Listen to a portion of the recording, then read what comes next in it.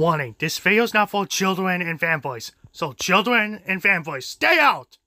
Thank you and enjoy the video.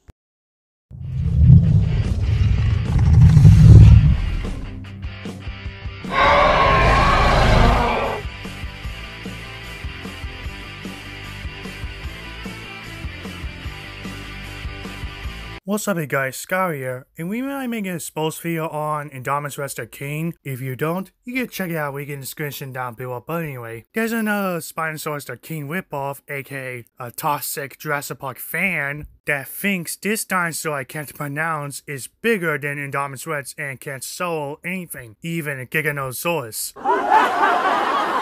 But in reality, it can't because it's two feet tall. So Indominus or Giganosaurus will squash it. He even commented that on my newest review video and saying that his videos on his YouTube channel is better than mine. But in reality, it's garbage. So go report those counts so YouTube and Instagram can't ban that person for good. This is Skyyler and peace everyone.